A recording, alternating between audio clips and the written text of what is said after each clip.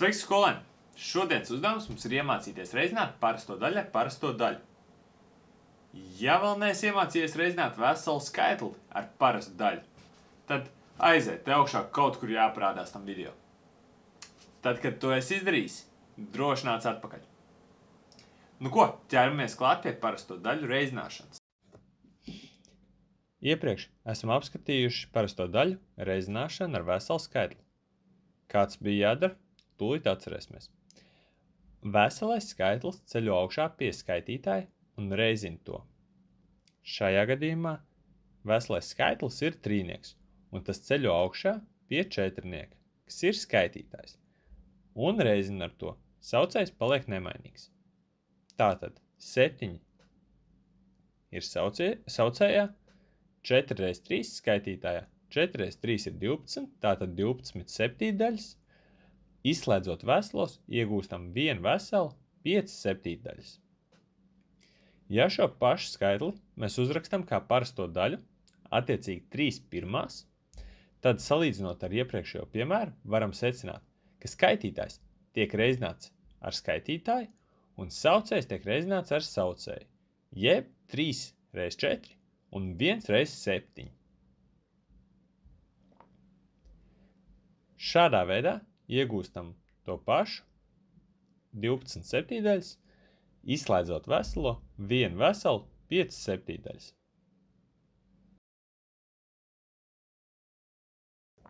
Pamēģināsim šādu pašu piemēru tikai ar daļām. 1 sasdaļa reiz 3 ceturdaļas. Kā iepriekš runājām, nepieciešams reizināt skaitītāju ar skaitītāju un saucēju ar saucēju rakstot tos uz vienas daļas vītras. 1 reiz 3 un 4 reiz 6. Šajā brīdī svarīgi ir iepauzēt un paskatīties, vai iespējams kaut ko saīsināt. Kāpēc šobrīd? Jo šobrīd mēs strādājam ar mazākiem skaitļiem kā turpmāk. Tā, mēs redzam, ka saīsināt iespējams 3 un 6, un skaitītājā iegūstam 1 reiz 1, savukārt saucējā 2 reiz 4. Tālāk sareizinām un iegūstam vienu astotdaļu. Ko darīt, ja mums jāreizina viens vai vairāk jaukt skaitļi? Priekš tā mums jāatceras, kā jaukt skaitli pārvērst neīstā daļā. Kad tas izdarīts, atliek veikt reizināšanu tieši tāpat, kā to darījām iepriekšējā piemērā. 1 vesels 3 ceturdaļas reiz 3 veseli 1 trešdaļa.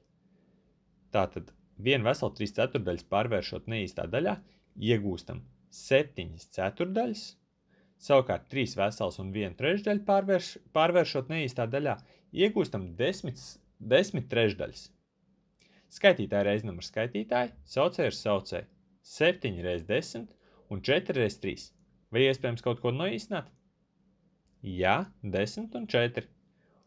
Tādējādi iegūstam 7 reiz 5 un 2 reiz 3 jeb 35 sestdaļas. Izslēdzot veselos, mūsu rezultāts sanāk 5 veseli, 5 sestdaļas. Iespējams, grāmatā jau es pamanīju, kā tiek pierakstīta vispārējā reizināšanas formula. Mums tā izskatīsies šādi. A, B daļas reiz C, D daļas. Reizinam skaitītāji ar skaitītāju un saucēju reizinam ar saucēju. Rezultātā mums sanāk A reiz C skaitītājā un B reiz D saucējā. Nu ko, ticu, ka esi iemācījies reizināt parastās daļas. Atliek vien patrenēties ar pāris piemēriem un būs nostiprinājis savas zināšanas. Veiksim darbā!